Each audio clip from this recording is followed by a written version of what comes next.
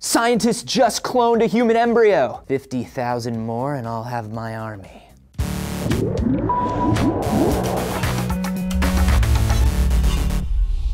Anthony here for D News, and we talk about stem cells a lot. Just a couple weeks back, we saw them used to build a new throat for a girl who was born without one. We've seen organs made in labs. Stem cells are at the forefront of regenerative medicine, and they are kind of poised to change everything. But there's still that classic stem cell problem. The most effective stem cells are embryonic, and harvesting cells from embryos is bogged down in a lot of legal and ethical debate. Uh, a team of biologists thinks that they've found a way around that, but it could actually put them in the center of more conflict. The team from Oregon Health and Science University made an embryonic clone of a human from a person's skin cells and donated eggs. Cloned human embryo.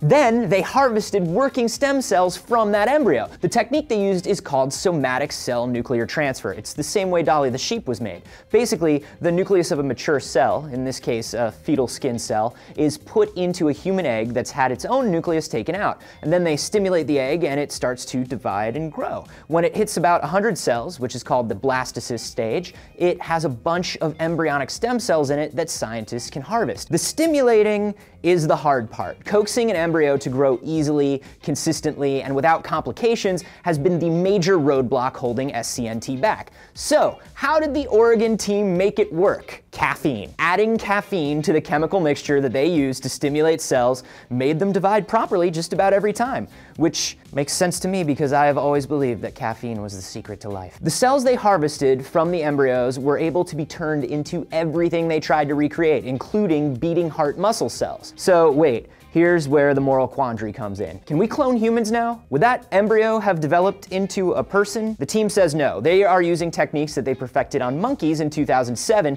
and none of those embryos were able to survive into maturity. They say the human one wouldn't either, and they're going to publish a paper soon that explains exactly why the techniques they use would not work to advance human cloning. But an embryo is still an embryo, and under current laws, the team can't get government funding for embryonic stem cell research. And while the stem cells are versatile, more testing needs to be done to figure out if they are in fact more versatile than iPS stem cells, which are made just by reprogramming skin cells into thinking they're stem cells. So this is potentially a big leap, but inexpensive, easy creation of embryonic stem cells is still a long way off. How do you guys feel about this research? Is a cloned embryo ethically the same as a harvested embryo? even if it's unlikely to grow into a human? Uh, let me know down below and subscribe for more D News.